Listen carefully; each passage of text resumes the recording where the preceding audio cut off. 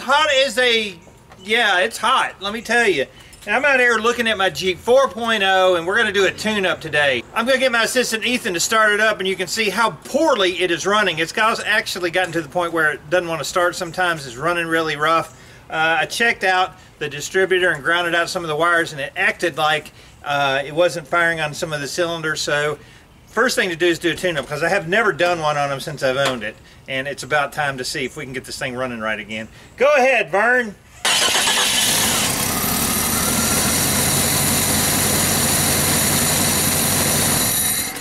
That's bad. All right, so plugs, cap, rotor, new wires. We're going to see if we can get this thing running well again. So I went to AutoZone to get my parts. I went to O'Reilly's first. They didn't have crap. Uh, he said, we'll have to order all that. So I went to AutoZone. They had most of the parts. Uh, went to get a set of wires. He says, we don't stock them. And I said, really? You don't have a set of wires for a 4.0 Jeep? I said, look up a 95 Wrangler. They did have wires for that. He goes, well, that won't fit it because this is for a Wrangler and this is a Cherokee you want wires for. And I said, it's the same motor.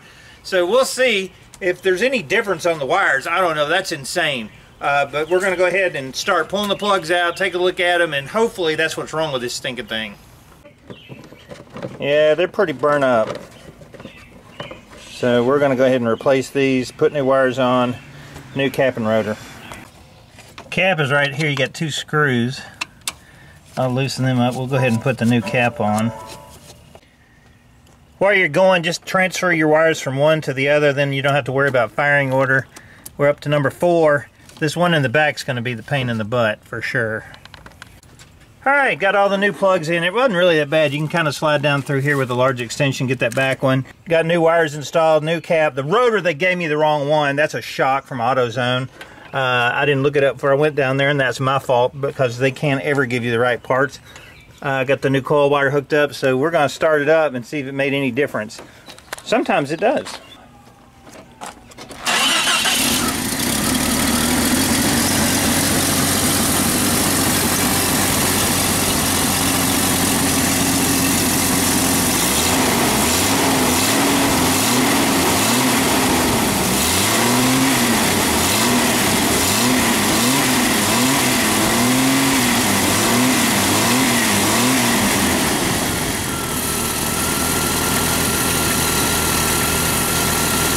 That's a little better.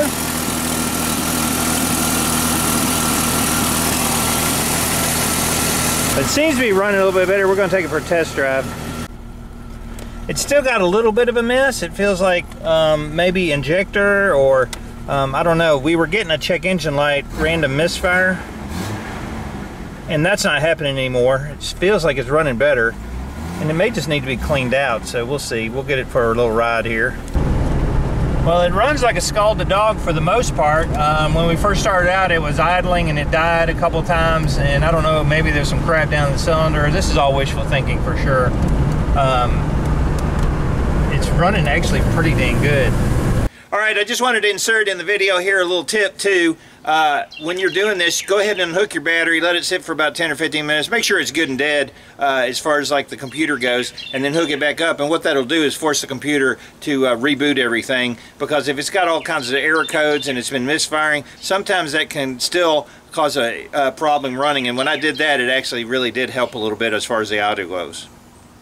So I don't know, we're going to drive it for a little bit to see what happens. It could be engine issues, valve issues, injector issues, could be a lot of different things that are causing issues with the truck. Being an OBD1 system, you can't really do a lot of diagnosis on it, but we're going to drive it, maybe put some seafoam in it if it's the injectors and, and go from there.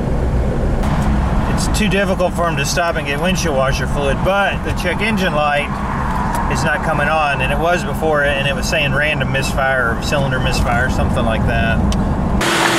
Well, it seems to be running a lot better. I mean, you know, it's got almost 200,000 miles on it, but uh, that seemed to help with the misfires, especially starting it up. It was almost flooding out a little bit when it started up. We're going to throw some seafoam in it. I'm going to roll the dice and see what happens.